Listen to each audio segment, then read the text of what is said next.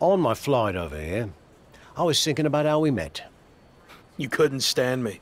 Said I should quit wrestling and go back to where I came from. Well, that wasn't very helpful, was it?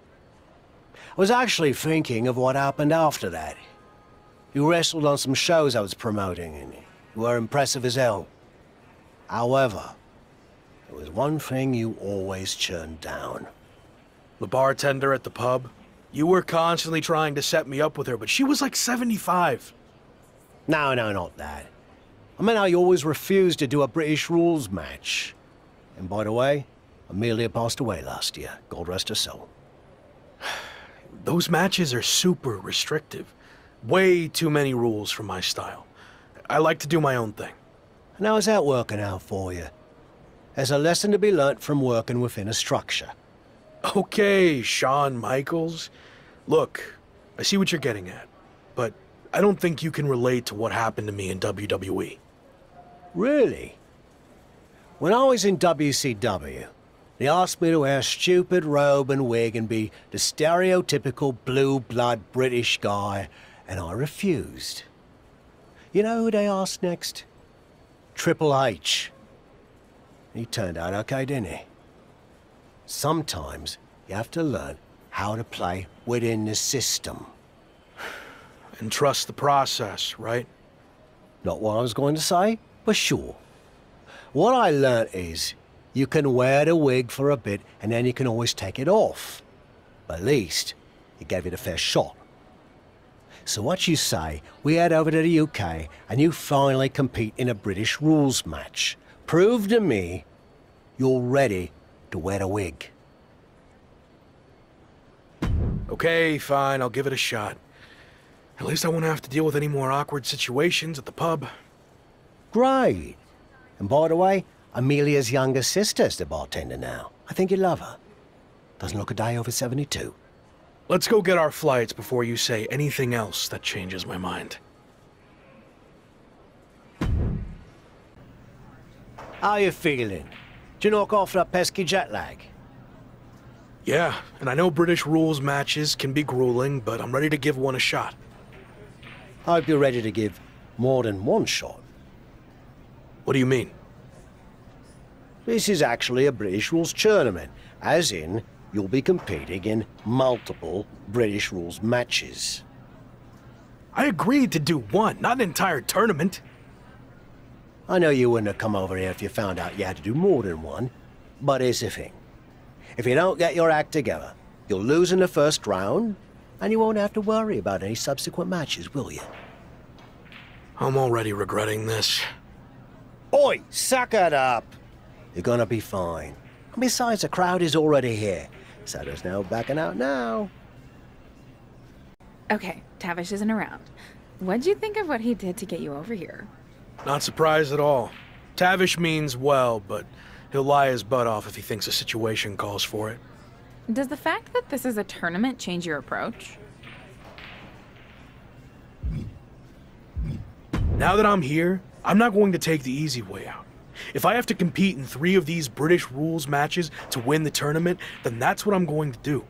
It could really help kickstart my comeback. This is awkward, but I wanted to seem cool. I honestly have no idea what a British rules style match is. It's been around forever here in the UK. The matches are two out of three falls, and there's no leaving the ring or top rope moves allowed. Got all that? Uh, yeah. D uh, definitely. Bottom line, it's going to be very tough to win this tournament, especially since it's all taking place in one night.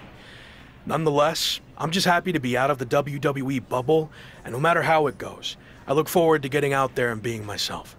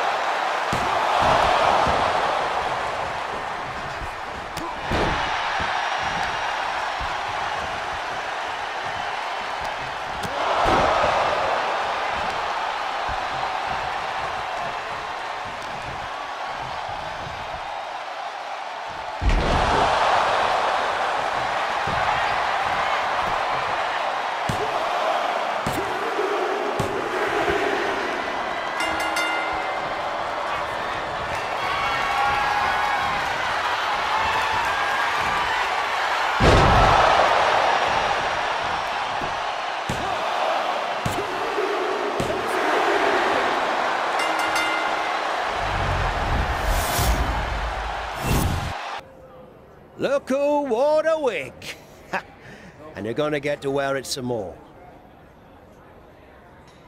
It wasn't bad, I guess. Actually, kind of fun. Well, your next opponent is gonna be tougher. But the important part is that you're learning to get outside your comfort zone. And if you manage to win the match, even better. You have any kind of scouting report on this next guy? Oh, no, I didn't catch his last match. Some fans bought me a pint. Nice blokes. So, how did you know he's tougher then? Made it up. Seemed like a coach thing to say. Anyway, I'm headed back for another free round. Good luck.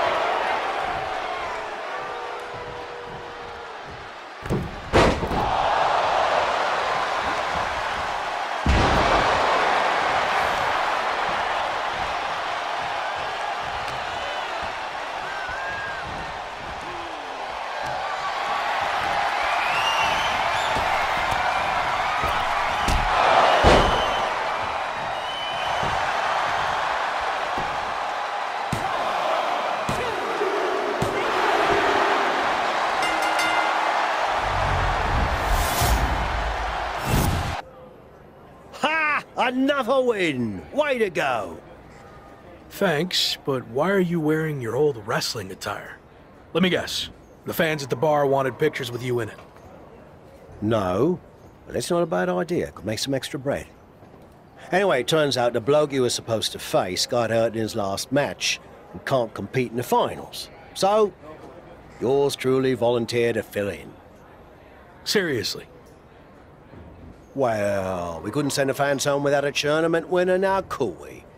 Besides, some of them are my mates now. Jimmy's getting married next month, and he asked me to perform the ceremony. Congrats. So what do you say? You versus me, British rules, may the best fully rested, slightly buzzed man win. All right. Let's do this.